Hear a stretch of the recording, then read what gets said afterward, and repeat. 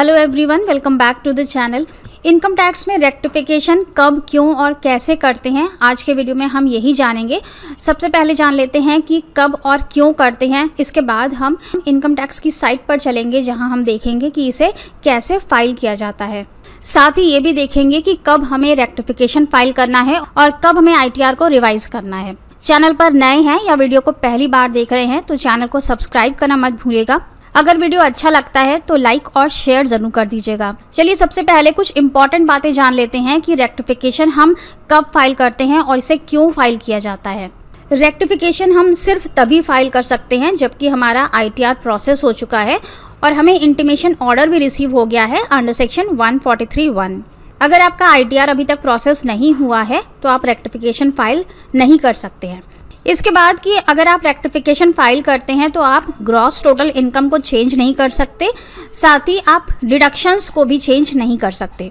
अगर आपसे कोई इनकम दिखानी रह गई, या फिर आप अपनी इनकम को कम करके दिखाना चाहते हैं तो आप इनकम को यहाँ पर चेंज नहीं कर सकते हैं। इसके अलावा आप डिडक्शंस में भी कोई चेंज नहीं कर सकते हैं। अगर आपके कोई डिडक्शंस दिखाने रह गए और आप एडिशनल डिडक्शंस क्लेम करना चाहते हैं या फिर आप किसी डिडक्शन का अमाउंट चेंज करना चाहते हैं तो वो भी यहाँ पर पॉसिबल नहीं है। तो रेक्टिफिकेशन फ़ाइल करते समय ना तो आप अपनी ग्रॉस टोटल इनकम को चेंज कर सकते हैं और ना ही आप डिडक्शंस के अमाउंट को चेंज कर सकते हैं। तो इन शॉर्ट हम कह सकते हैं कि आप अपनी नेट टैक्सेबल इनकम को चेंज नहीं कर सकते हैं। जो इनकम आपने अपनी ओरिजिनल आईटीआर में दिखाई है वही आपको रेक्टिफिकेशन में भी दिखानी पड़ेगी, वरना आपका रेक्टिफिकेशन आगे प्रोसीड नहीं होगा, आप उसे फ़ाइल नहीं कर पाएँगे। अगर आप बैंक अकाउंट डिटेल्स चेंज करना चाहते हैं, आपने आईएफएससी कोड गलत दे दिया या आपके अकाउंट नंबर आपने गलत दे दिया, अगर आप बैंक अकाउंट की डिटेल्स को चेंज करना चाहते हैं तो उसके लिए आपको रेक्टिफिकेशन फ़ाइल नहीं करना है। ये काम आप रिफंड री इश्यू की रिक्वेस्ट डाल के करेंगे। अगर आपके बैंक अकाउंट में रिफ़ंड नहीं आया है तो आप रिफ़ंड री इशू की रिक्वेस्ट क्रिएट करिए। वहाँ पर आप अपने बैंक अकाउंट की डिटेल्स को चेंज कर सकते हैं। रेक्टिफिकेशन हम कब फ़ाइल करते हैं? जब टैक्स क्रेडिट मिसमैच हो मतलब कि टीडीएस का अमाउंट आपको चेंज करना हो। जैसे कि आपके 26 सिक्स में कुछ और टीडीएस दिख रहा है और आपने जो आईटीआर फ़ाइल की, उसमें आपने डिफरेंट टीडीएस फ़ाइल कर दिया। तो अगर आप अपना टीडीएस का मिसमैच सही करना चाहते हैं, आप रेक्टिफिकेशन फ़ाइल कर सकते हैं। अगर आपने टैक्स पेमेंट्स में ओमिशन कर दी मतलब कि आपने एडवांस टैक्स का अमाउंट रॉन्ग दे दिया या आपने एडवांस टैक्स की रिसिट नंबर रॉन्ग दे दी है, या फिर आपने सेल्फ असेसमेंट टैक्स के केस में कोई मिस्टेक कर दी है सेल्फ असेसमेंट टैक्स का अमाउंट रॉन्ग दे दिया या रिसिट नंबर या चलान नंबर आपने कुछ रॉन्ग दे दिया, कोई भी मिस्टेक अगर आपसे टैक्स पेमेंट में हो गई है तो वो चीज़ आप रेक्टिफाई कर सकते हैं। अगर आपकी प्रोफ़ाइल में कोई मिसमैच है, जैसे कि एड्रेस रॉन्ग दे दिया या फ़ोन नंबर चेंज करना चाहते हैं या पर्सनल इन्फॉर्मेशन के अंदर आप कोई भी प्रोफ़ाइल चेंज करना चाहते हैं तो वो आप रेक्टिफिकेशन के थ्रू कर सकते हैं। चैप्टर सिक्स ए के डिडक्शंस यानी कि एट्टी सी से लेकर के एट्टी यू तक जितने भी डिडक्शंस क्लेम किए जाते हैं, अगर आपने रॉन्ग हेड में क्लेम कर लिए हैं तो आप हेड को चेंज कर सकते हैं, लेकिन अमाउंट को चेंज करना यहाँ पर पॉसिबल नहीं है। ना ही आप ग्रॉस टोटल इनकम का अमाउंट चेंज कर सकते हैं और ना ही आप डिडक्शंस का अमाउंट चेंज कर सकते हैं। तो रेक्टिफिकेशन में जो नेट इनकम आपने अपनी ओरिजिनल आईटीआर में दिखाई है, वही नेट इनकम आपकी रेक्टिफिकेशन वाली आईटीआर में भी जाएगी। इसके बाद बात करते हैं कि कब हमें आईटीआर को रिवाइज करना है और कब हमें इसे रेक्टिफाई करना है। तो रेक्टिफाई का टैब तभी ओपन होता है, जबकि रिवाइज करने की डेट ओवर हो जाती है।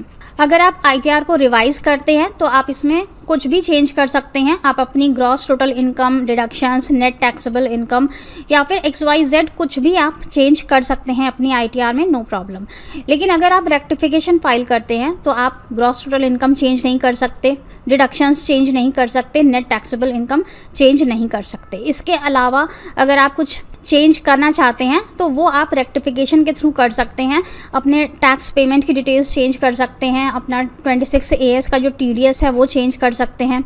तो ये सारी चीज़ें आप रेक्टिफिकेशन के थ्रू कर सकते हैं। दूसरा रिवीजन आप कभी भी कर सकते हैं, चाहे आपका आईटीआर प्रोसेस हुआ हो या ना हुआ हो, लेकिन रेक्टिफिकेशन आप तभी फ़ाइल करेंगे जबकि आपका आईटीआर प्रोसेस हो गया है और आपको इंटीमेशन ऑर्डर रिसीव हो गया है। पुराने वाले पोर्टल में रेक्टिफिकेशन का टैब हमें तुरंत मिल जाता था। जैसे ही आपकी आईटीआर प्रोसेस होती थी रेक्टिफिकेशन का टैब तुरंत ओपन हो जाता था कि अगर आपकी आईटीआर में कोई मिस्टेक है, आप चेंज करना चाहते हैं तो आप रेक्टिफाई कर सकते हैं। दोनों दोनों ऑप्शन आपके पास रहते थे कि चाहे तो आप रेक्टिफाई कर सकते हैं और चाहे तो आप रिवाइज कर सकते अगर हम रेक्टिफिकेशन के थ्रू करते थे तो आईटीआर जल्दी प्रोसेस हो जाती थी, लेकिन हम अगर रिविजन के थ्रू करते थे तो फिर जितना टाइम ओरिजिनल आईटीआर को प्रोसेस होने में लगता है, उतना ही रिवाइज आई को प्रोसेस होने में भी लग जाता था। जो पुराना पोर्टल था, उसमें आईटीआर को प्रोसेस होने में दो से तीन महीने का समय अप्रॉक्स लग जाता था। तो अगर आप रिवाइज़ करते थे तो इतना ही समय आपकी रिवाइज आईटीआर को भी लग जाता था। लेकिन अब न्यू पोर्टल में यहाँ पर रेक्टिफिकेशन का टैब तभी ओपन होता है जबकि आईटीआर को रिवाइज करने की डेट भी एंड हो चुकी है। जब तक आईटीआर फ़ाइल करने की डेट आपके पास अवेलेबल है एंड नहीं हुई है, तब तक आपके पास रेक्टिफिकेशन का टैब ओपन नहीं होता है। चलिए अब चलते हैं इनकम टैक्स की साइट पर और देखते हैं कि रेक्टिफिकेशन किस तरह से फ़ाइल किया जाता है। इनकम टैक्स पोर्टल पर जब आप अपने अकाउंट में लॉगिन करेंगे तो आपको ऊपर ब्लू लाइन में मिलता है सर्विसेज़ और सर्विसेज़ के टैब में आपको मिलेगा रेक्टिफिकेशन का टैब। रेक्टिफिकेशन पर क्लिक करने के बाद आपके पास इस तरह से इंटरफेस ओपन होता है। यहाँ पर लिखा है माई रिक्वेस्ट और यहाँ पर सेव्ड ड्राफ्ट। अगर आपने ऑलरेडी रेक्टिफिकेशन फ़ाइल की हुई है तो वो आपको माई रिक्वेस्ट में दिखेगा। और अगर आपको न्यू रेक्टिफिकेशन क्रिएट करनी है तो आपको यहाँ न्यू रिक्वेस्ट से जाना है। यहाँ पर आपसे पूछेगा असेसमेंट ईयर कौन से ईयर का आईटीआर आप रेक्टिफाई करना चाहते हैं? इसके बाद नीचे कंटिन्यू पर क्लिक करेंगे। अब हमारे पास यहाँ पर दो ऑप्शंस आते हैं रेक्टिफाई करने के लिए। रीप्रोसेस द रिटर्न और दूसरा है return data correction reprocess return का यूज़ हम तब करते हैं जब हमने अपनी ओरिजिनल आइडिया बिल्कुल सही फ़ाइल की हुई है। ये ऑप्शन बेसिकली टीडीएस के लिए यूज़ किया जाता है, क्योंकि कई बार ऐसा होता है कि हमने T D S as per twenty six दिखाया है अपने आईटीआर में, लेकिन डिपार्टमेंट उसे कंसिडर नहीं करता। वो कम टीडीएस को कंसिडर करता है, जबकि हमारे 26 एएस में ज़्यादा टीडीएस दिख रहा है। तो इस केस में हम रीप्रोसेस रिटर्न पर क्लिक कर देते हैं और फिर से प्रोसेसिंग में डाल देते हैं। लेकिन ये प्रोसेस हम तभी करेंगे जबकि हमारा 26 एएस में उतना टीडीएस दिख रहा है जितना हमने अपनी आईटीआर में फ़ाइल किया है। दूसरा है रिटर्न डेटा करेक्शन अगर आपको अपने रिटर्न डेटा में कोई करेक्शन करना है, जैसे कि अभी हमने प्रीवियस स्लाइड में डिस्कस किया कि आप क्या क्या चीज़ें चेंज कर सकते हैं अपने आईटीआर में, अगर आपको कोई करेक्शन करना है, तब आप इस वाले मेथड का यूज़ करेंगे ऑफलाइन मेथड इन्हें ओपन करने के लिए आपको यहाँ एरो पर क्लिक करना है. अगर आप रीप्रोसेस करना चाहते हैं तो आप यहाँ एरो पर क्लिक करेंगे. आपके पास मैसेज आ जाएगा कि are you sure you want to submit the rectification request आप सबमिट पर क्लिक करेंगे और आपकी रिक्वेस्ट सबमिट हो जाएगी। फ़िलहाल न्यू पोर्टल में प्रोसेसिंग काफ़ी फास्ट है तो एक से दो दिन के अंदर आपका ये आई टी आर रीप्रोसेस हो जाएगा। अगर आपको डेटा में कोई करेक्शन करना है तो यहाँ क्लिक करेंगे। यहाँ पर सबसे पहले आपको रेक्टिफिकेशन रीज़न देना है कि आप रेक्टिफाई क्यों करना चाहते हैं। यहाँ अटैच फ़ाइल के ऑप्शन पर आकर आपको उसे अटैच कर देना है। फ़ाइल अटैच करने के बाद आपको सबमिट पर क्लिक करना है और आपका ये रेक्टिफिकेशन फ़ाइल हो जाएगा। रीप्रोसेस का यूज़ हम तब करते हैं जब डिपार्टमेंट ने बाई मिस्टेक आपका कोई डेटा कंसिडर नहीं किया है, जबकि आपके पास 26 एएस में वो शो हो रहा है, तब हम रीप्रोसेस का यूज़ करते हैं और जब हमें रिटर्न के डेटा में कोई करेक्शन करना है, तब हम दूसरे ऑप्शन का यूज़ करते हैं। डेटा करेक्शन का यूज़ करते समय आपको ध्यान रखना है कि आप कोई भी इनकम हेड चेंज नहीं कर सकते हैं।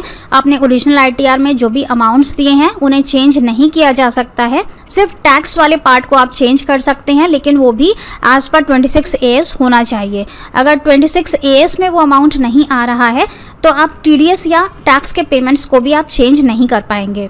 तो बस फ्रेंड्स आज के वीडियो में इतना ही। होप की वीडियो आपके लिए यूजफुल रहा होगा। Thank you so much for watching this video stay safe and healthy bye bye